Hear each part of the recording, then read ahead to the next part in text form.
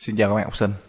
Hôm nay thầy và các bạn sẽ cùng nhau đi vào à, buổi ôn tập à, cuối học kỳ 2 của chuyên đề đại số và hình học à, của lớp 9. À, chúng ta sẽ đi vào bài toán đầu tiên. Bài toán đầu tiên là bài toán giải phương trình và hệ phương trình. Chúng ta đi vào câu A. Câu A của chúng ta là một cái à, căn thức thì bằng một biểu thức thì rõ ràng là chúng ta cần phải đặt điều kiện thì trước hết là chúng ta quan sát giá trị trong căn chúng ta chợt nhận ra đó là giá trị luôn luôn dương. Bởi vì sao? X bình trừ 2 x cộng cho 3 thì bằng x trừ 1 tất cả bình cộng 2 sẽ lớn bằng 2 tức là dương đó, với mọi x thuộc r. Đúng chưa? Vì vậy điều kiện của chúng ta cần đặt đó là làm cho giá trị với bên phải không âm. Tức là gì? Đó là điều kiện. Đó là x uh, cộng 5 sẽ lớn bằng uh, chúng ta có thể viết lại lớn bằng căn hai được. Nhưng mà chỉ cần lớn bằng không là được rồi ha. Tương đương với x sẽ lớn bằng trừ 5 được chưa? Và khi đó thì chúng ta có thể viết lại là chắc chắn là chúng ta chỉ có thể bình phương thôi chứ chúng ta không bình phương thì không có cách nào giải quyết bài toán này. Một cách uh, uh, hợp lý nhất thì bây giờ chúng ta sẽ bình phương ha. Chúng ta bình phương chúng ta được x bình phương trừ 2x cộng cho 3 sẽ bằng x bình phương cộng cho 10x cộng cho 25 và chúng ta nhận ra đây là phương trình được chuyển về phương trình bậc nhất. Tương đương chuyển cái này qua là được 12x thì bằng cái chỗ này chuyển qua thì chúng ta sẽ được là bao nhiêu đây? Cái này chuyển qua này chuyển lại là um, trừ 22 à trừ 22 và chúng ta giải ra là x sẽ bằng trừ 11 phần phần 6 trừ 11 phần 6 có lớn hơn trừ 5 không? Câu trả lời là có đúng không? Và đến đây thì chúng ta sẽ nhận giá trị này và chúng ta có thể kết luận lại là gì? Suy ra S bằng trừ 11 phần 6 hết rồi. Chúng ta qua câu B. Câu B là một bài toán uh, giải à, phương trình dạng đối xứng lại giải hệ phương trình à, đối xứng lại một ha. Câu b thì chúng ta không cần đặt điều kiện gì cả. Và chúng ta có thể biến đổi lại là gì? X à, khai triển hạng thức ra hơn x cộng cho y. X lập cộng y lập bằng x cộng y nhân với một cái bình phương thiếu của một hiệu ha. X bình cộng y bình trừ x y bằng bằng 8 và chỗ này của chúng ta là x cộng cho y cộng cho 2 xy bằng bằng 2. Vậy thì đến đây chúng ta sẽ giải quyết bài toán này như thế nào? Theo thầy là chúng ta sẽ đặt s sp đúng chưa? Đặt s bằng x cộng y p bằng xy và điều kiện của chúng ta là s bình lớn bằng 4p. Vì sao s bình lớn bằng 4p? Bởi vì x cộng y tất cả bình luôn lớn bằng ờ, uh, 4xy. Chuyển vé qua chúng ta được x trừ y tất cả bình lớn bằng 0. Đây là điều luôn đúng. Vậy thì phương trình này thì đặt là phương trình 2 đi. Phương trình 2 sẽ trở thành trở thành gì đây? Đó là S. Cái chỗ này của chúng ta là gì? Là S bình trừ 2P trừ thêm P nữa là S bình trừ 3P bằng 8. Chỗ này chúng ta có S cộng cho 2P thì bằng 2. Và từ cái điều này ta sẽ rút ra đúng không? Ta rút ngược ra thì ta, ta có thể giải quyết được bài toán chúng ta rút cái con p đi. Đúng chưa? Rút p để chúng ta ra một cái phương trình bậc 3 chẳng hạn. Thì bây giờ từ cái phương trình này chúng ta sẽ suy ra ha. Đó là p bằng à, uh, 2 trừ s chia cho 2 chúng ta thế vào trong phương trình này. Chúng ta được là gì đây? Uh, thế vào phương trong phương trình sau ha. Thế vào sau ta được s như vậy s bình trừ cho 3p vậy là trừ cho 3 nhân 2 là 6 đúng không? À, trừ cho 3 nhân 3 nhân này là trừ 3s chia cho chia cho 2 bằng 8 chúng ta viết lại là tương đương với gì đây? S mũ 3 trừ cho um, nhân vào trong này là gì? Trừ cho 3s ha. 3s và tiếp theo là cộng. Ừ, chỗ này của chúng ta nhân vào là trừ cho 3s do đây mang dấu trừ còn cái này nhân vào trong này là chúng ta mang dấu cộng cộng cho 3 phần 2 s bình trừ cho 8 bằng 0 và đến đây thì à, chúng ta có thể viết lại là gì? Tương đương với 2s mũ 3 cộng cho 3s bình trừ cho 6s trừ cho 16 bằng 0. Chúng ta có thể nhẩm nghiệm được đúng không? Nghiệm của chúng ta là bằng 2. Tương đương với này, này bằng bao nhiêu đây? 2 mũ 3 đây là 8, 8 x 2 là 16. 16 trừ cho trừ cho 12 là bằng 4. 4 4 trừ cho 16 là bằng um, 4 trừ cho 16 là bằng trừ trừ 12 đúng chưa trừ 12 mà lại cái chỗ này là phải bằng 2 không nhỉ? Chúng ta cùng kiểm tra lại nghe đây là bao nhiêu đây? 8 x 2 là 16 16 cộng với 12 là 28 ờ à, đúng rồi. Hai cái giá trị này là mất này hai giá trị này mất này. Đúng là bằng hai vậy đứa này ta có thể phân tích lại là bằng gì đây? Tương đương với 2s mũ 3 đúng chưa và do nó có một nghiệm s bằng 2 rồi cho nên ta có thể phân tích lại là gì? Là trừ cho 4s bình. Trừ 4s bình thì hiển nhiên rồi chúng ta sẽ phải cộng thêm cho cộng thêm cho 7s bình để cho cân bằng cái hệ số. Đúng chưa cộng 7s bình chúng ta phải trừ tiếp cho 14s trừ 14s thì hiển nhiên như chúng ta sẽ à, cộng thêm cho 8s để cân bằng hệ số và trừ 16 bằng 0 đây là một phép chia hết tương đương với à, 2s rút ra. 2s bình rút ra chúng ta được là s trừ 2 cộng cho 7s rút ra. S trừ 2 cộng cho 8 rút ra. S trừ 2 s thôi không phải ít. Một thói quen thôi. S trừ 2 bằng 0 chúng ta giải ra tương đương với lại là s bằng 2 hoặc là 2s bình cộng 7s cộng 8 bằng 0 ồ, đây là một phương trình vô nghiệm ha. Đúng chưa? Vậy với s bằng 2 chúng ta có tổng bằng 2 ha, chúng ta có x cộng y bằng 2 chúng ta cùng thế vào phương trình này, xem như thế nào. X cộng y bằng 2 thì chúng ta thế vào cái phương trình ban đầu ha, x cộng y bằng 2 thì chúng ta sẽ suy ra được là 2 cộng cho bao nhiêu sẽ ra ra 2 x nhân y bằng 0 đúng không? Và chúng ta nhận ra rằng nếu mà s bằng 2 thì đồng nghĩa với chúng ta suy ra được cái gì đây suy ra x cộng y bằng 2 x cộng y bằng 2 chúng ta cùng nhìn lại phương trình thứ nhì. Phương trình thứ nhì là cái này bằng 2 chúng ta suy ra x y bằng 0 tích x nhân y bằng 0 chúng ta suy ra x y bằng 0 x y bằng 0 đồng nghĩa với lại x bằng 0 hoặc y bằng 0 đúng chưa với với x bằng 0 chúng ta sẽ suy ra y bằng 2 vì sao? Nếu mà x bằng 0 thì y bằng tùy ý, đúng với phương trình này. Nhưng để đúng với cái điều kiện là x cộng y bằng 2 thì chúng ta suy ra y bằng 2. Đúng chưa? Và chúng ta có là x bằng 2. À, khi chỗ này chúng ta không thể viết x bằng 2 được ha. Chúng ta phải viết y bằng 0. Thì chúng ta suy ra x bằng x bằng 2. Vì vậy cho nên là chúng ta có hệ phương trình có nghiệm là gì? x y bằng 2 uh, 0 2 hoặc là 2 không. Và chúng ta cùng kiểm tra lại bài toán thì chúng ta thấy các nghiệm chúng ta thử lại đã đúng. Đúng chưa? Một giá trị bị ẩn đi thì hai mũ qua bằng 8 chính xác. Và một giá trị bị ẩn đi thì chúng ta có hai bằng hai là điều chính xác. Chúng ta vừa kết thúc xong bài toán đầu tiên. Chúng ta sẽ chuyển qua bài toán tiếp theo.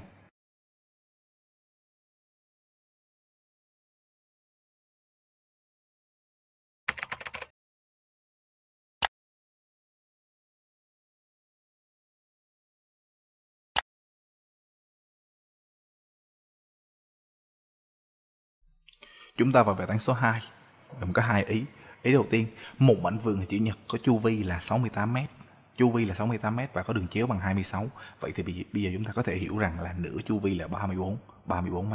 Đúng chưa? Câu A. À, gọi x là dài. Y là rộng. Và ta có một điều kiện đó là gì? X lớn y, lớn không? Thì theo đề, ta có gì đây? Ta có là x cộng cho y sẽ bằng nửa chu vi, tức là 34 mét. Và chúng ta có đường chéo của hình chữ nhật chính là cạnh huyền của tam giác vuông tạo bởi hai cạnh góc vuông là hai cái kích thước của của hình chữ nhật. Chúng ta có x bình cộng y bình sẽ bằng à, 26 bình phương. Đúng chưa? Và đến đây thì chúng ta giải quyết được bài toán rồi. Đến đây tương đương với gì đây? x bằng 34 trừ cho y. Và chúng ta có là gì đây? À, bốn trừ cho y tất cả bình cộng cho y bình bằng 26 bình phương. Đúng chưa? Và chúng ta có thể giải ra tương đương với không, chúng ta giải cái phương trình thứ nhì thôi, không cần giải phương trình à, thứ nhất. Phương trình này thì đặt là một đi. một tương đương với à, y bình. Đúng chưa? hai y bình. Tiếp theo là trừ cho 68 y. Tiếp theo là cộng cho 34 bình trừ 26 bình. Lý do thầy chưa có vội tính kết quả liền, bởi vì là thầy nghĩ là nếu mà có thể rút gọn được thì tốt. 34 bình mà trừ cho 26 bình, ta có thể dùng máy tính ta bấm tuy nhiên thì thầy thầy cũng muốn gọi là cộng vào hai cái giá trị này cộng vào là bằng bao nhiêu bằng 60 đúng không và hai giá trị này trừ cho nhau bằng 8 đúng chưa 60 nhân với 8 là 480 480 mà chia đôi chúng ta được 240 dấu cộng. 34 y trừ. Bỏ con 2 đi, y bình phương. Bằng. Bằng 0. và 34 34 là chỉ có thể nghĩ ngay đến con số bao nhiêu? 40 và 6 đúng chưa 40 và 6 nhân đôi nhân với nhau là ra 240 và 40 và 6 trừ với nhau thì vẫn ra 34 đúng chưa vậy thì chúng ta có trừ 40 y và cộng 6 y cộng 240 bằng 0 y bình phương tương đương chúng ta có y uh, trừ y mở mặt ra là y trừ cho 40 cộng cho 6 mở mặt ra y trừ Uhm. À cái chỗ này thầy phân tích hình như chưa ổn lắm đúng không? À, phân tích cái chỗ này thì uh, chúng ta có thể phân tích lại là trừ 24 và 10 đúng không?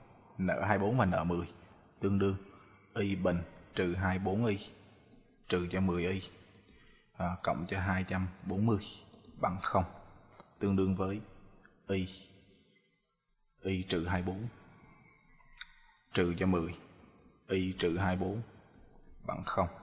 Chúng ta tương đương với uh, y bằng 10 hoặc là y bằng 24. Và rõ ràng 10 với 24 cộng với nhau bằng 34 đúng chưa? Nhưng mà y bằng 10 ta sẽ loại. Vì sao loại các bạn biết không? Bởi vì là x là chiều dài rồi thì chúng ta à không, y bằng 24 chúng ta loại chứ, thầy nói nha.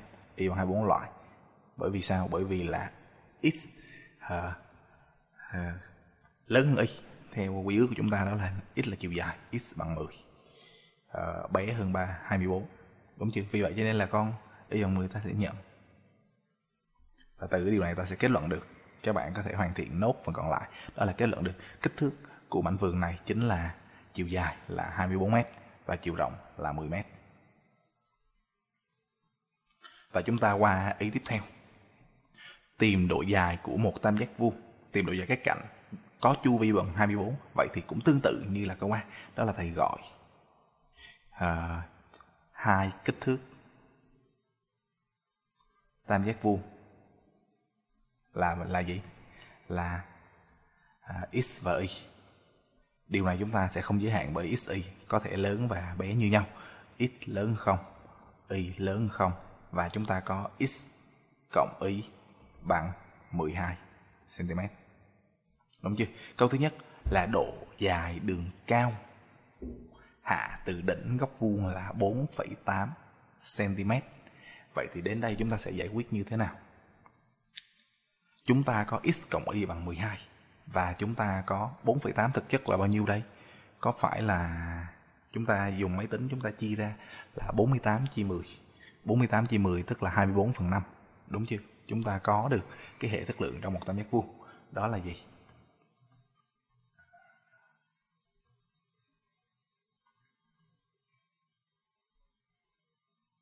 A B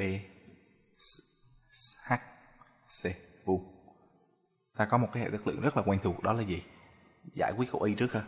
Đó là một phần x bình cộng một phần y bình thì bằng một phần AH bình mà AH nãy thầy vừa nói rồi đó chính là 24 phần 5 vậy nghịch đảo ngược lại là 5 phần 24 đúng chưa? 5 phần 24 vậy thì ờ, sau khi mà các bạn làm được đến chỗ này á, thì các bạn có thể dễ dàng suy ra được. Đúng chưa? Thì chúng ta có thể viết lại là sao? X cộng y bằng 12 và x 1 phần x bình cộng 1 phần y bình bằng 24 à cái chỗ này hình như thầy phát hiện ra thầy viết nhầm. Cái chu vi của một tam giác thì là bằng bao nhiêu đây? Chính là tổng của tổng của ba cạnh. Thì chúng ta phải viết lại đó là x cộng với y cộng với căn bậc 2 của x bình cộng y bình. Thì bằng 24 mới đúng chứ hả? Đúng chưa? À, và chúng ta có cái hệ xong. Đây là một phần h bình ha. Ta có cái hệ đó là x cộng y cộng với căn bậc hai của x bình cộng y bình bằng 24 và một phần x bình cộng một phần y bình bằng 5 phần 24. Và cũng hoàn toàn tương tự với việc chúng ta giải hệ này, chúng ta có thể nhân chiếu lên và chúng ta rút thì các bạn có thể ra được đó là x bằng 6 y bằng 8 hoặc x bằng 8 và y bằng 6 ha, đó là câu đầu tiên câu thứ hai của chúng ta đó là gì câu y y, y. đó là bán kính đường tròn nội tiếp bằng 2 ta luôn luôn có một cái công thức rất là quan trọng đó là gì s là diện tích của tam giác bằng pr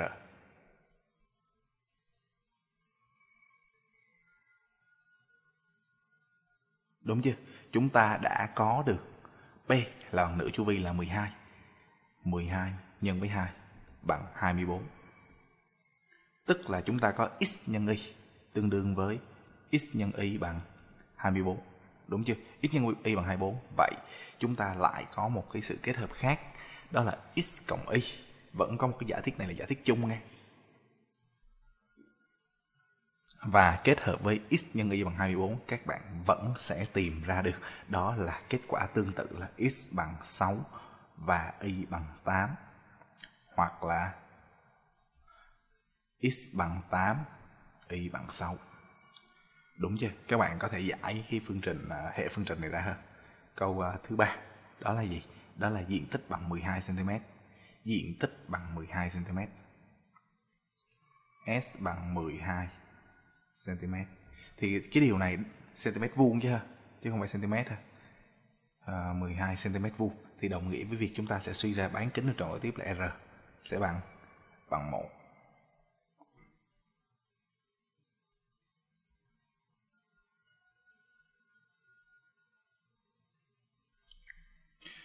cái cái vấn đề này thì thầy à, chỗ này thầy viết bị nhầm ha x y bằng 48 ha tại vì là sao? Uh, chúng ta có diện tích thì uh, bằng 24 đồng nghĩa với lại tích hai cạnh góc vuông phải bằng 48 tại vì chia đôi nó mới ra diện tích cho nên chúng ta mới tìm ra kết quả như vậy. Còn đối với S bằng 10 12 cm vuông thì chúng ta suy ra R bằng 1 đúng chưa? Và chúng ta suy ra được cái nữa. Thật ra R bằng 1 là là cái công thức này thầy nhắc lại thôi. Nó không quan trọng lắm. Cho nên là cái vấn đề này ta không cần suy ra R bằng 1 chúng ta suy ra x y tích x y bằng bằng 24 đúng chưa? Và chúng ta vẫn có cái giả thiết đó là gì?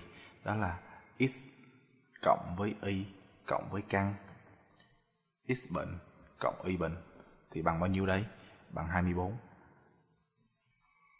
rồi và cái phần này thì chắc là thầy sẽ để cho các bạn làm. À, giải quyết tiếp bài toán này bằng việc đưa cái uh, bài toán này vào dạng uh, lập phương trình hoặc là hệ phương trình. Uhm, tuy nhiên cái câu C thì đáp số nó sẽ không đẹp đâu. À, chúng ta sẽ chuyển qua bài toán tiếp theo.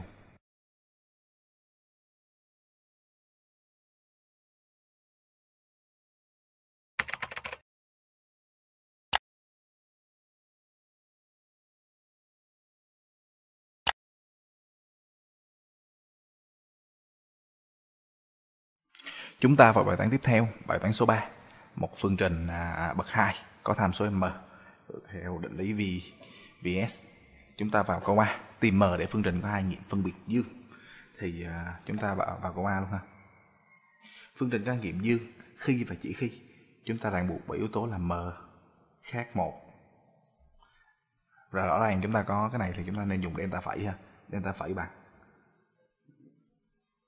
m bình m cộng 2 tất cả bình. Trừ cho 7, m trừ 1 dương để chắc chắn nó có hai nghiệm đã. Và cái tiếp theo đó là gì? S sẽ bằng cái gì đây? à, trừ b chia a tức là 2 m cộng 2 chia cho m trừ 1 à, dương và p p bằng 7 chia cho m trừ 1 dương đúng chưa và đến đây chúng ta có thể biến đổi lại ha à, tương đương với m bình trừ 3m cộng 11 dương à điều này là điều luôn đúng ha. Và tiếp theo đó là m lớn 1 m mà bé một thì giá trị này âm cho nên là không thỏa. Đúng chưa vậy cho nên là tổng hợp tất cả các điều kiện lại chúng ta sẽ có được là gì? M lớn 1 vậy m lớn 1 thì phương trình sẽ có hai nghiệm phân biệt. Dương. Chúng ta qua câu b. Câu b đó là theo ý trước chúng ta đã chứng minh. Đó là delta phẩy. Delta phẩy là sau khi chúng ta khai triển ra ha. Delta phẩy bằng gì? Câu b. Delta phẩy bằng uh, m bình. Trừ 3m cộng 11 thì uh, chúng ta phân tích lại bằng m trừ cho 3 phần 2 ha tất cả bình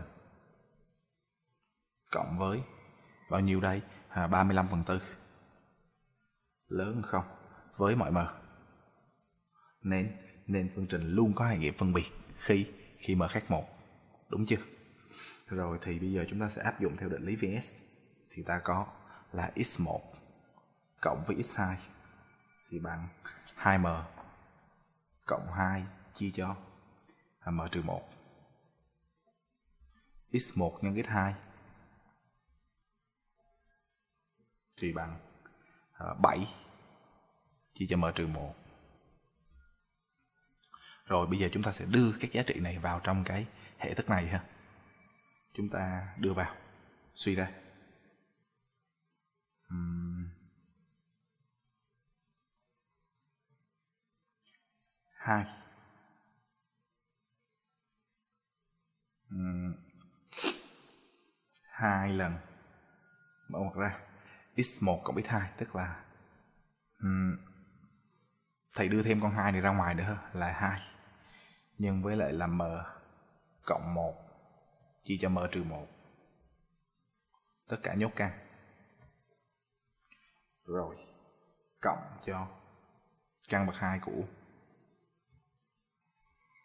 7 chia cho m trừ 1 cộng cho 2 bằng bằng 7 đúng chưa?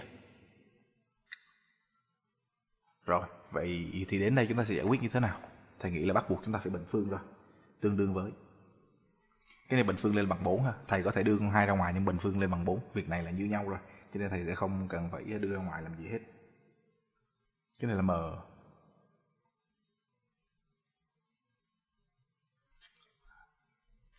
à cái chỗ này của thầy là thầy viết nhầm một chút xíu à. 2 2 m cộng 2 rồi, vì vậy cho nên bây giờ khi mà đưa ra ngoài và bình phương chúng ta được 4 lần. M cộng 2 chia cho. M trừ 1 cộng cho. Cái này chúng ta quy đồng vào luôn ha. Đó là bao nhiêu đây? Uhm.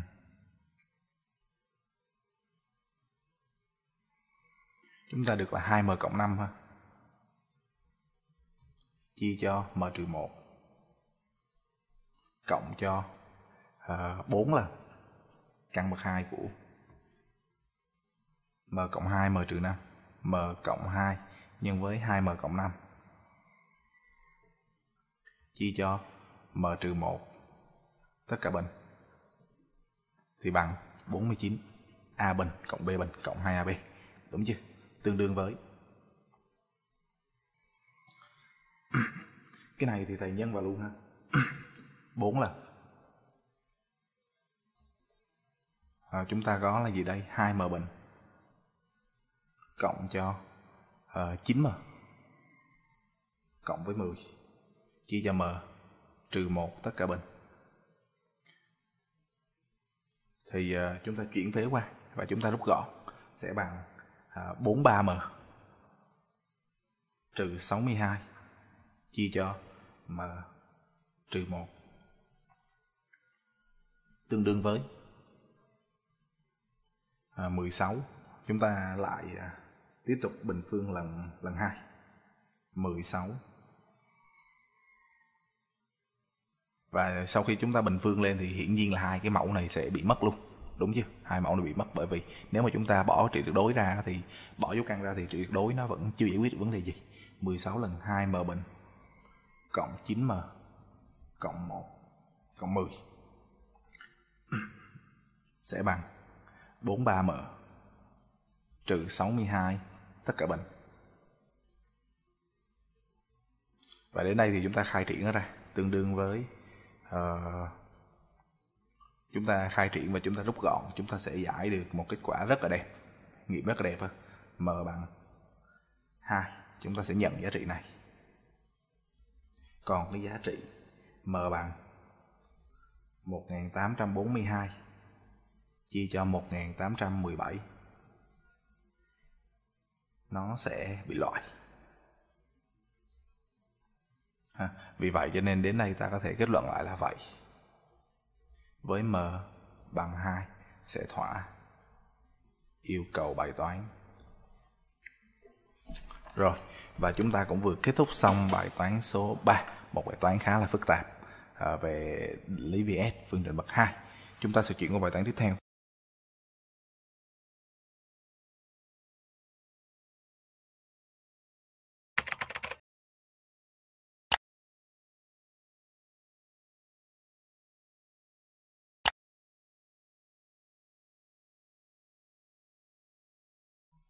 Chúng ta vào bài toán số 4. Cho đường đoạn tam O và tam giác ABC nhọn nội tiếp đường tròn với AB cố định và điểm C thay đổi trên đường tròn sao cho góc ACB luôn bằng 45 độ. Đường cao AD, BE khác nhau tại H. Bây giờ thầy sẽ tiến hành thầy vẽ hình ha. Bây giờ chúng ta chú ý đến giả thiết nào? Chúng ta chú ý đến giả thiết bây giờ đây, đây là cái đường tròn tam O ha. Đây là đường tròn tam O. Đúng chưa? Vậy thì làm sao để ta vẽ được cái góc ACB luôn bằng 45 độ? Góc ACB không cần vẽ chúng ta cũng biết đây là một góc nội tiếp. Đúng chưa? Cho nên số đo của nó sẽ bằng nửa số đo góc ở tâm. Đúng chưa? Góc ACB là góc nội, nội tiếp chắn cung AB. Vì vậy số đo cung AB sẽ bằng 90 độ. Thầy vẽ góc A tùy ý nè. Đó. Sau đó thầy vẽ vuông góc xuống đây. Và đây chính là đoạn thẳng BC cố định. Thầy nói nhầm đoạn thẳng AB cố định ha. B góc này vuông rồi điểm C thay đổi tùy ý thôi C đây đi rồi để chúng ta đảm bảo rằng C có thay đổi như thế nào thì thay đổi cái góc à, uh, ACB luôn bằng 45 độ. Và cái đoạn cố định này thì sẽ tô màu khác đi hơn đây đoạn thẳng AB cố định đây. Rồi.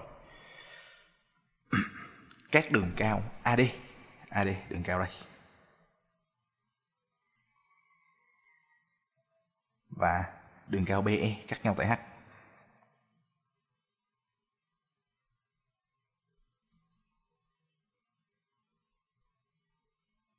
Rồi, à, các phân tử H hiển nhiên là chúng ta có CH chính là đường giao thứ ba hay còn gọi H là trực tâm tam giác ABC đó. Đúng chưa? Rồi, câu thứ nhất chứng minh CH bằng AB. Đó, chúng ta nhìn thì chúng ta thấy có vẻ như là bằng. Có nghĩa là bây giờ cho dù cái điểm C nó chạy đi đâu chạy thì độ lớn của của đoạn thẳng CH luôn luôn không thay đổi. Các bạn lưu ý với thầy cái vấn đề này ha. Câu A. Thì đương nhiên rồi chúng ta để chứng minh được hai đoạn bằng nhau thông thường chúng ta đưa vào hai tam giác bằng nhau. thì bây giờ chúng ta có tam giác à, ACB có góc gì? Có góc C bằng 45 độ thì chúng ta sẽ đưa cái góc C này vào một tam giác khác. Tam giác CEB vuông tại tại E có có góc à, uh, ECB bằng 45 độ. Chúng ta suy ra tam giác CEB vuông cân tại vuông cân tại E ha. Đúng chưa? Tam giác này vuông cân tại E. Mà vuông cân tại E vậy thì thầy sẽ suy ra cái góc màu vàng này nè. Cũng bằng góc C luôn và bằng 45 độ luôn. Đúng chưa? Và hoàn toàn tương tự góc này luôn, 45 độ luôn. Rất là tương tự nhau. Đúng chưa? Rồi vậy bây giờ chúng ta cụ thể hơn đó là chúng ta có góc ACB bằng 45 độ thì chúng ta sẽ suy ra được góc AOB sẽ bằng 90 độ, góc ở tâm gấp đôi, góc nội tiếp, cùng chắn một cung. Được chưa hè? Rồi bây giờ chứng minh CH bằng AB thì đương nhiên rồi, chúng ta sẽ đặt vào tam giác CDH và tam giác gì? C. Thì thầy sẽ ứng với đỉnh A. D. Thầy ứng với đỉnh đỉnh D luôn ADB để cho CH bằng AB rất là chính xác. Và bằng nhau theo trường hợp nào đây có phải là uh, đầu tiên là cái cạnh DH bằng cạnh DB vì sao? Vì góc này vuông góc góc này vuông này góc này 45 cho nên tam giác HDB vuông cân tại D. Đúng không? Thì cái góc thì cái cạnh DB bằng cạnh DH đúng chưa? Tiếp theo đó là cái góc nào? Cái góc HCD và góc DAB hai góc này bằng nhau vì sao? Vì cùng phụ với góc CBA đúng chưa vì cùng phụ góc CBA cho nên chúng ta có hai góc bằng nhau rồi. Và chúng ta cùng kiểm tra xem uh, hai tam giác vuông mà có bất kỳ một cạnh nào đó bằng nhau. Đúng theo thứ tự đó nghe là DH bằng DB rồi. Cho nên hai tam giác này sẽ tự khắc bằng nhau theo trường hợp góc cạnh góc. Đúng chưa thì ta có thể trừ ngược ra cái góc còn lại à, sẽ bằng nhau luôn ha tức là góc này, này CHD và góc DBA bằng nhau. Đúng chưa? Vậy đến đây thì ta sẽ suy ra được là gì? CH sẽ bằng bằng AB rất là đơn giản thôi. Câu B. Câu B là câu như thế nào? Câu B là chứng minh AEODB à, cùng thuộc một đường tròn. Ồ nhìn vào hình là chúng ta thấy luôn đúng chưa? Đó là góc AEB bằng góc AOB bằng góc ADB và bằng 90 độ. Cho nên chúng ta dễ dàng suy ra được là A, E, O, D, B thuộc đường tròn đường kính AB. Đúng chưa? Cái vấn đề mà thầy cần nói đó là câu C. Câu C là một câu khá là hay. Các tia đeo, tia đeo đây và tia eo cắt đường tròn cắt ha các đường tròn tại điểm G và F. DO các đường tròn tại G. Và eo các đường tròn tại F. Chứng minh rằng đường thẳng qua C, vuông góc VEF e, luôn luôn đi qua một điểm cố định. Đây, vuông góc đây.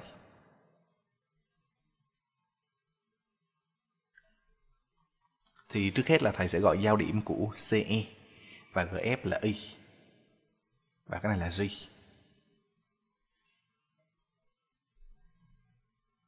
Và thầy dự đoán luôn ha, dự đoán được nó đi qua điểm cố định chính là điểm nằm chính giữa cung nhỏ, điểm T nằm chính giữa cung nhỏ AB cố định bởi vì AB là đoạn cố định.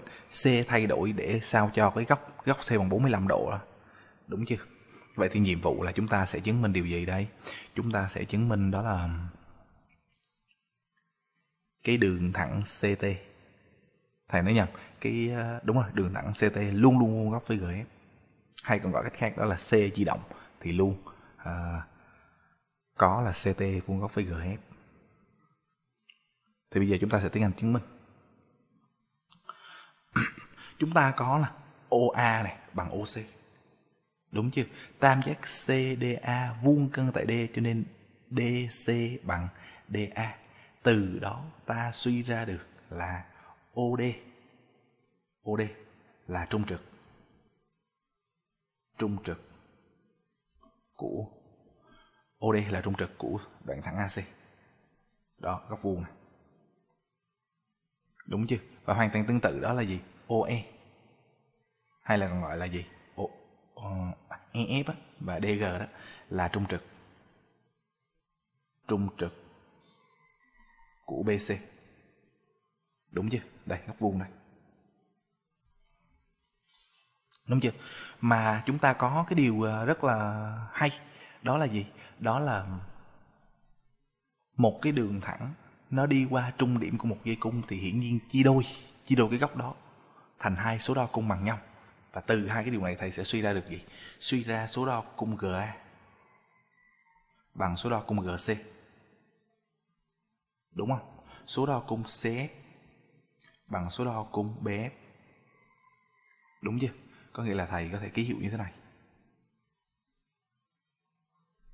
bằng nhau rồi, các bạn quan sát cho thầy như sau đây là các các điểm mà thầy giới thiệu rồi thầy sẽ không trình bày ở trong này nghe các bạn quan sát của thầy như sau đây, cái góc này góc màu đỏ đi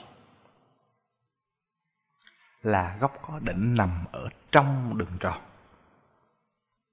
trong đường tròn thì sao? Sẽ bằng tổng hai góc, hai cái cung bị chắn chia đôi. Có nghĩa là nó sẽ bằng thằng GA số đo GA cộng số đo GCF chia đôi. Còn thằng G thì sao? Thì bằng thằng CG và thằng FB chia đôi. Đúng chưa? Mà hai thằng đó bằng nhau, cho nên chúng ta dễ dàng. Cái phần này thầy không trình bày nghe, các bạn nhìn thầy mô tả thôi. Chúng ta suy ra được góc C CIG bằng góc CGI đúng chưa? Hay là suy ra tam giác CIG luôn luôn cân tại. Cân tại. Cân tại C. Đúng chưa? Mà cân tại C thì đồng nghĩa với là cái gì? Cái đường cao của nó sẽ đồng thời là đường phân giác. Đúng chưa? Chúng ta suy ra là gì? Suy ra cái đường cao, thầy giả sử cái đường cao này là đến đây thì coi như chúng ta xong rồi, đúng không? chúng ta xong mất tiêu rồi. Chúng ta có là gì? Là c ct là đường phân giác. Luôn luôn là đường phân giác. Bởi vì sao? Bởi vì là góc nội tiếp acb dù xe nó chạy đi đâu thì chạy thì hiển nhiên là cái cung at cung at đây, cung màu vàng. Luôn luôn bằng cung tb đúng không? Vì vậy cho nên là chúng ta có ct luôn luôn là là đường phân giác. Đúng chứ mà nó lại là đường cao. Đúng chứ? Nó sẽ đồng thời là đường cao vì chúng ta vừa chứng minh tam giác c eg vu cân tại c. Đúng chứ? Vì vậy cho nên thầy sẽ suy ra được một điều rất là ngắn gọn đó là à, suy ra đó là đường cao hay là còn gọi là đường thẳng vuông góc qua C. Vuông góc với GF luôn qua luôn qua điểm T cố định.